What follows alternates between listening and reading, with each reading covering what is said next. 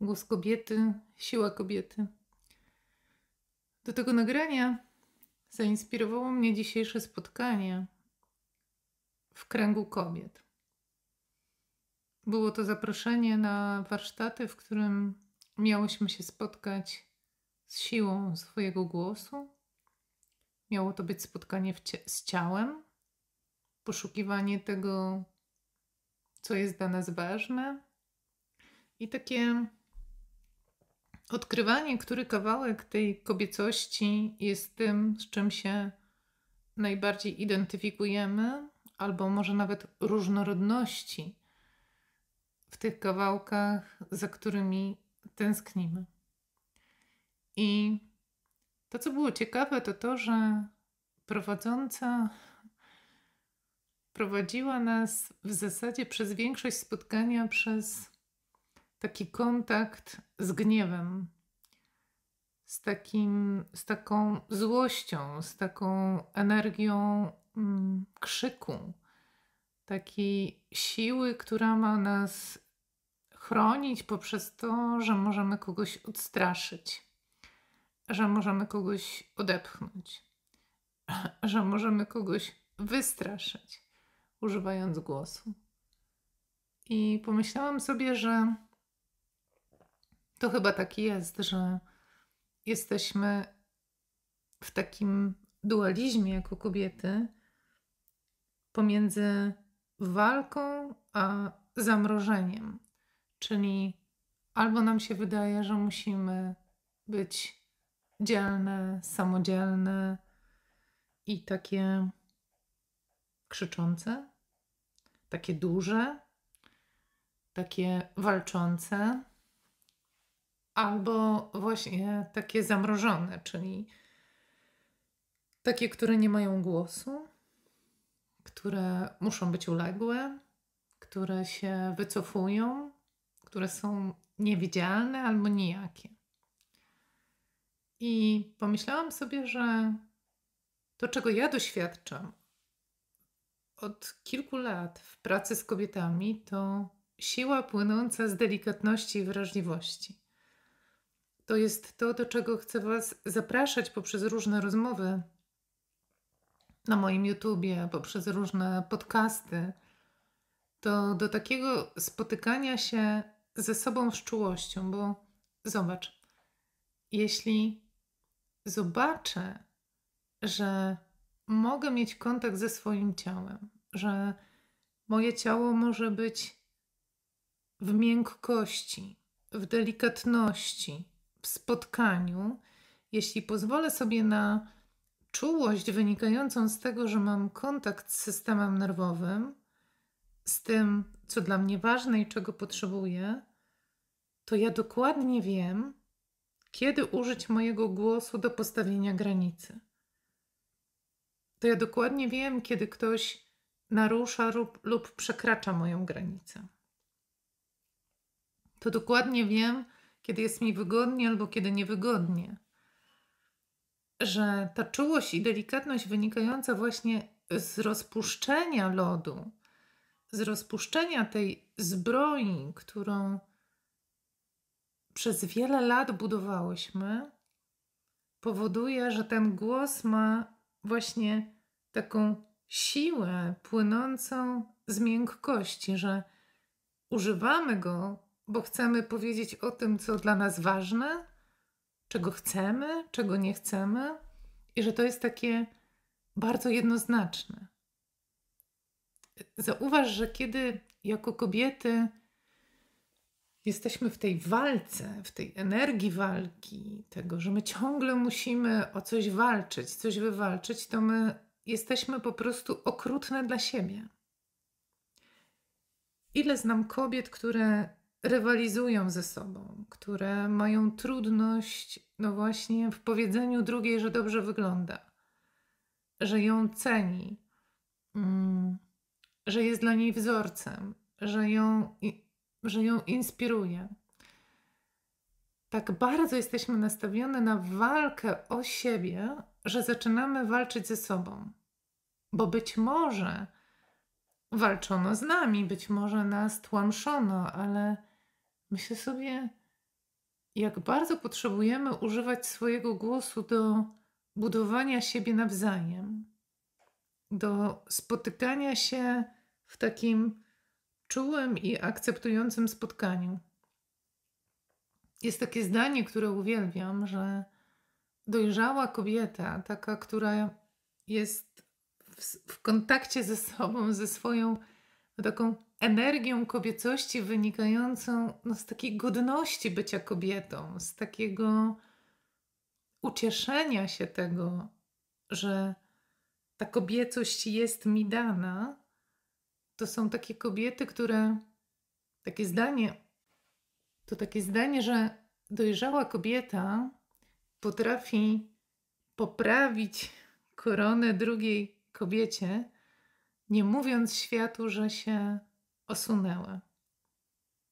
Że my potrzebujemy, tak, tak poczułam to dzisiaj, tak jakoś tego bardzo mocno doświadczyłam, że my potrzebujemy używać swojego głosu do tego, żeby widzieć siebie, siebie samą i widzieć siebie nawzajem, żeby te słowa, które wypowiadamy do siebie, były czymś, co ubiera w dobro, były czymś, co ubiera, no właśnie, w poczucie takiej godności, były czymś, co pozwala nam z jednej strony podnosić głowę, a z drugiej strony oddychać pełną piersią, bez lęku przed oceną, no właśnie wynikającą z tego, że spotkamy się ze sobą.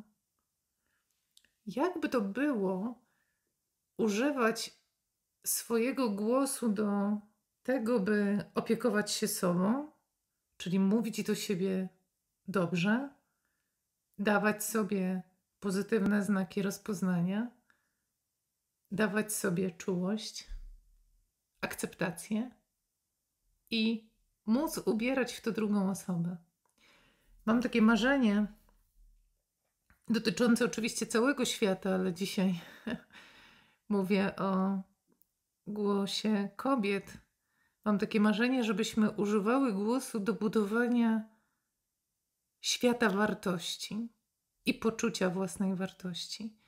Żeby każdy człowiek po spotkaniu z nami miał poczucie tego, że warto było go spotkać, że to, co usłyszał, było doceniające, widzące go, podnoszące go na duchu, że my naprawdę mamy w sobie ogromnie dużo krytyki, wiesz, tego popychania, dziubania, tych negatywnych ocen, osądów, diagnoz. Tego mamy naprawdę dużo. I jakby to było użyć swojej siły wynikającej hmm, z delikatności, ale z takiej delikatności, która daje mi kontakt ze sobą i z drugą osobą, bo wtedy mogę widzieć, co się z nią dzieje, kiedy widzę, co dzieje się ze mną. Że my bardzo potrzebujemy wyjść z tej historii niewidzialnych dzieci, z tych kopciuszków, które miały się czuć gorsze i były gorsze, do sytuacji, w której naprawdę każda królowa się zmieści na sali ale do tego trzeba odetchnąć, wpuścić oddech. Do tego trzeba, no właśnie, zastanowić się, w jakiej sprawie chcę użyć swojego głosu. Czy to jest ok użyć go w swojej sprawie? Do tego potrzebujemy mieć odwagę zacząć mówić o sobie dobrze. Pomyśl sobie, jakie jest Twoje jestem dzisiaj. Czy to jest jestem, w którym jest godność, w którym jest radość z życia, w którym jest zaufanie do siebie? I czego potrzebujesz, żeby właśnie takie Twoje jestem było dzisiaj? Bo przecież dzisiaj zrobiłaś bardzo dużo rzeczy dla innych. Na pewno wspaniale o nich zadbałaś. ile zasobów, ile mocnych stron, ile potencjału potrzebowałaś do tego, żeby o nich zadbać. Twoje jestem dzisiaj było kompletne. Ono się wydarzyło w służbie innych.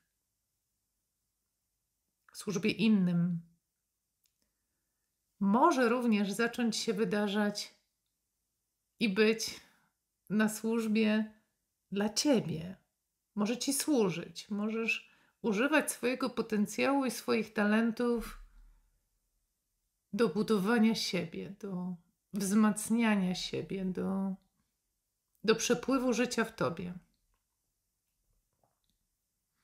Bo żeby wybierać życie,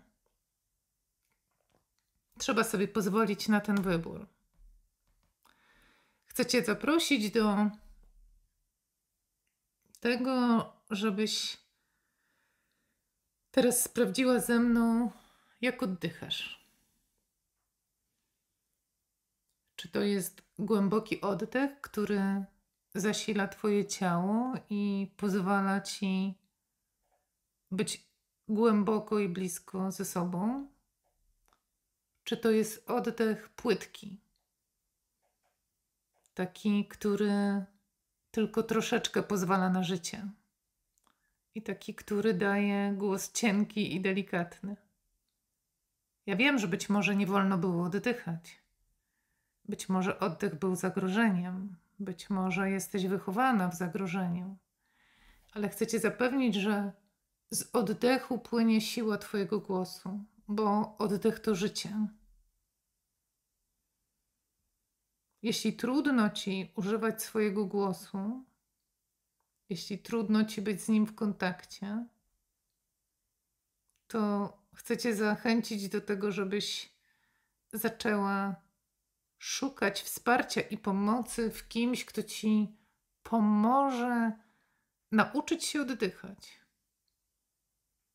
Oddech to życie w nas. Oddech to życie Twojego ciała. Zobacz, jeśli Twoje życie jest zamknięte w klatce, w klatce piersiowej, która się nie porusza, to tak może wyglądać Twoje życie. Może być ciasne, ściśnięte, napięte, ograniczone. A jakby to było zacząć oddychać życiem? Brać głęboki wdech i brać z tego życia dużo i robić głęboki wydech, wyrzucać to, co jest niepotrzebne. Czy jak teraz mówię o oddechu, to inaczej go widzisz? Czy teraz ci się napina ciało? Czy raczej wzdychasz razem ze mną? Jak głęboko jest zakopana Twoja tęsknota za życiem? Jak bardzo potrzebujesz uruchomić Twoje wnętrze, by wydobyć swój głos, który nie będzie niebezpieczny, który nie musi służyć do walki, ale może służyć do opieki nad sobą.